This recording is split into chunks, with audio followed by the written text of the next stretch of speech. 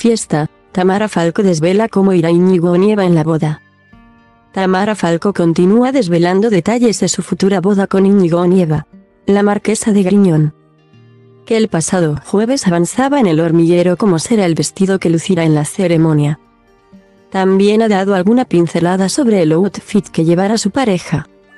Después de que un periodista se interesara por el smoking del empresario, Falco aclaró que se va a casar de chaqué. Al preguntarle por el color, la colaboradora aseguró entre risas que él no ha avanzado en ese aspecto.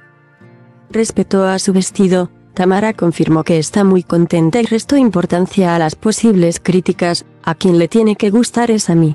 Y espero que a Íñigo también. Cabe recordar que la semana pasada desveló en Antena 3 que no es un vestido que todo el mundo vaya a entender.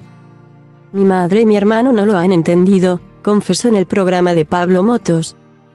En el vídeo recogido por Fiesta en su entrega de ayer, la hija de Isabel Preisler también aseguró que todavía no sabe nada sobre su despedida de soltera, eso habría que preguntárselo a mis amigas.